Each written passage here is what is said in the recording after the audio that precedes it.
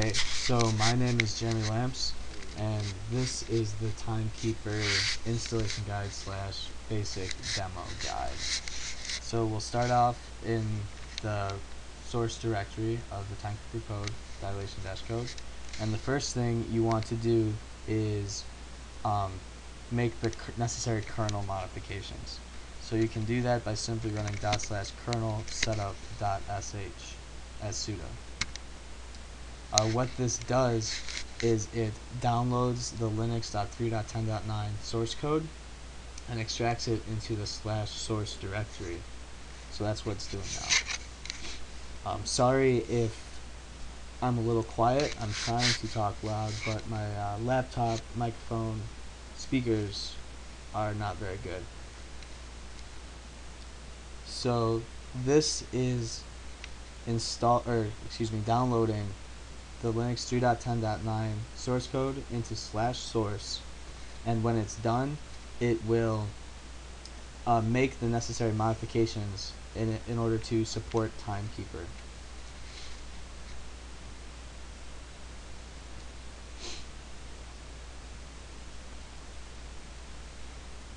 Okay, so it's just about downloaded. Now it's extracting all the files.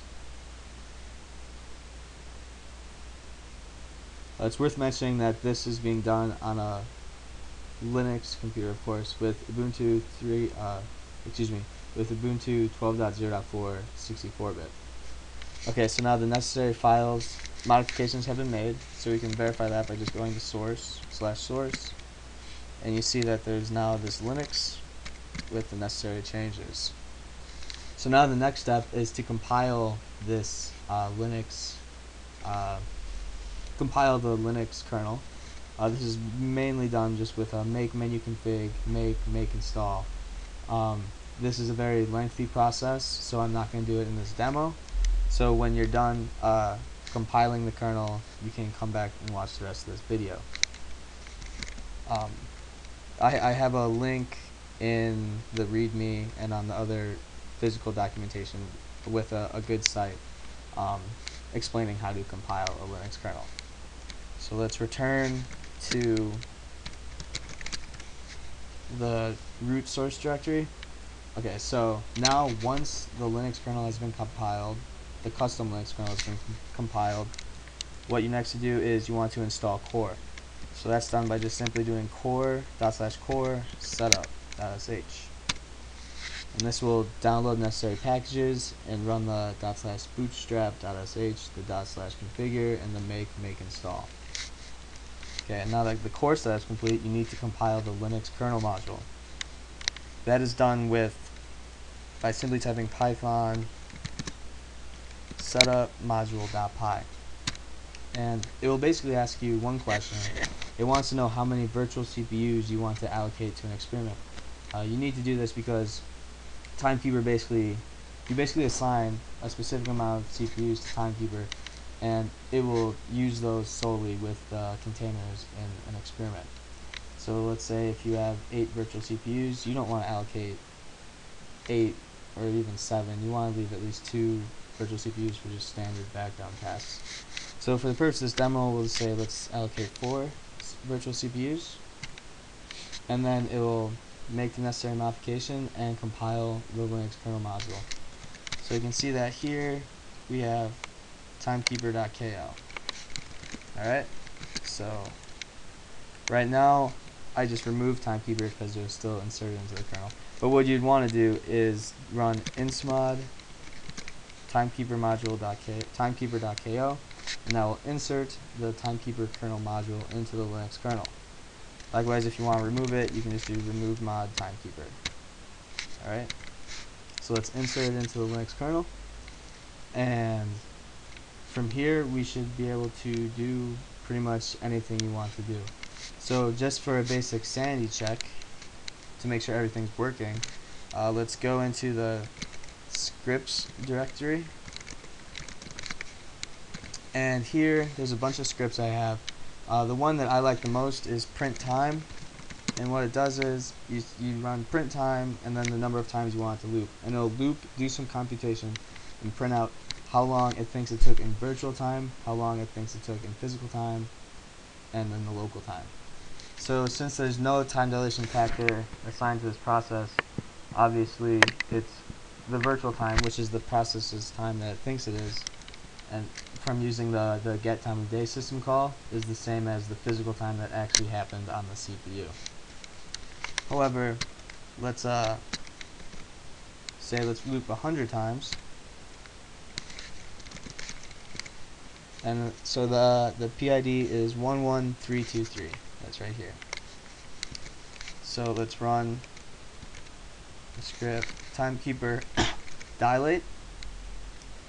And we can say dash p 11223 11323 and then the next argument is the dilation factor. So if we give a dilation factor of 2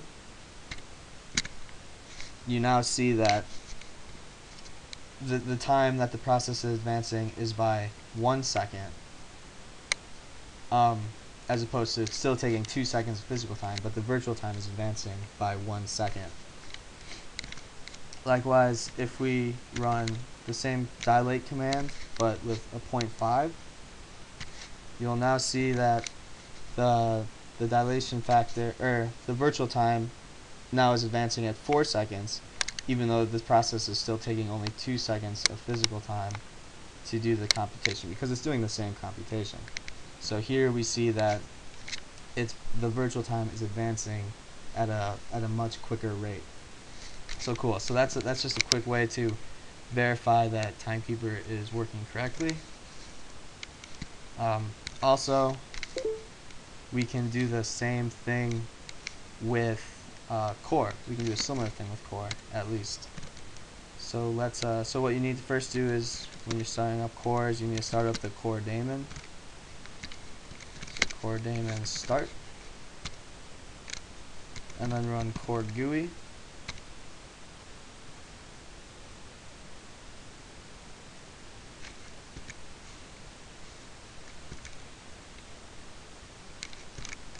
okay hold on make sure. My SSH is set up right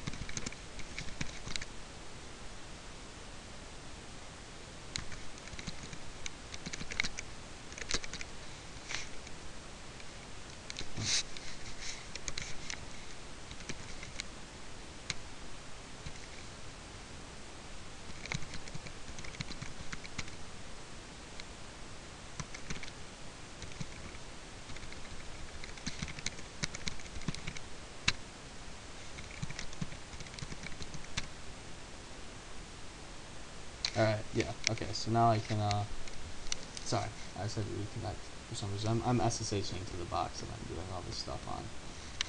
Alright, so there's going to be a little lag just to get the GUI to pop up, so please just bear with me. But what you'll see if you're familiar with core is we can just create a simple experiment. Just do it two hosts and now there's some modifications. For example double clicking on a host gives you the option to set the dilation factor. By default it's 1 meaning don't dilate the virtual time. So if we set this to 2 on one of them let's just connect them and hit play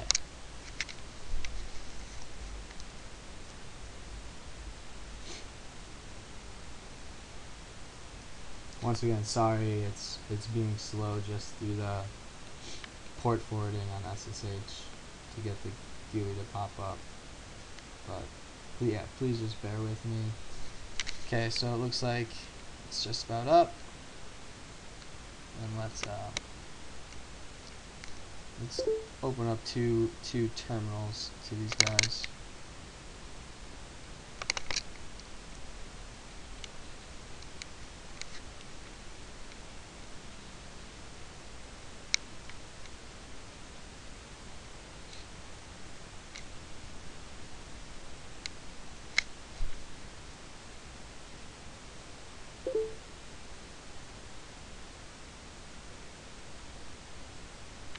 going really slow. It'd be much faster if I just had direct access to the machine.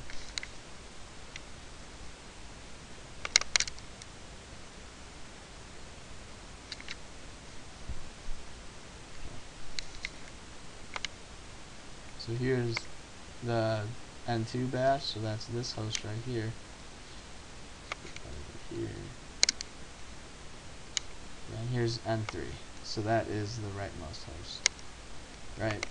So like we previously did, we can run print time 5 and print time 5 and we'll see that N2 um, does not have a dilation factor so the virtual time and the physical time that actually spends is about the same but the other the N3 host has a time dilation factor of 2 so it progresses at half the rate of physical time so let's run this print time again let's do it 40 times on each and now we'll actually start the synchronized experiment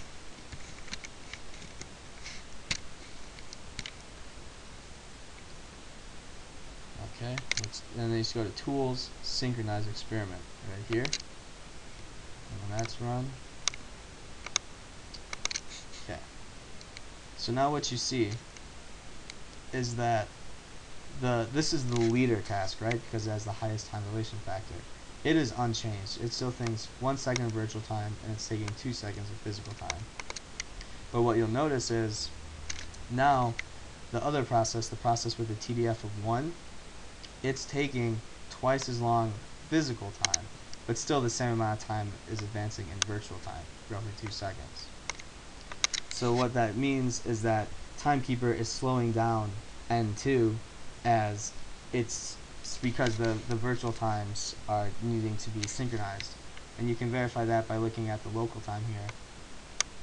Like it's the same, it's being synchronized, and so forth. So that is pretty much, and then just to stop the experiment, hit the red X, and that is it. So thank you for watching this demo. Um, I hope it is helpful. If you have any questions, just refer to the user documentation or just ask me. There's a, there's also a bunch more scripts I didn't mention in the scripts directory. So you can do all the things I mentioned, like you can freeze a process, you can unfreeze a process, you can you know you can do anything pretty much just from the command line that you want to or you can use um, timekeeper functions that's defined in this API right here timekeepers underscore functions dot h. But that is it. Thanks for everything. Let me know uh, just email me at lamps1 at illinois.edu if you have any additional questions. Thank you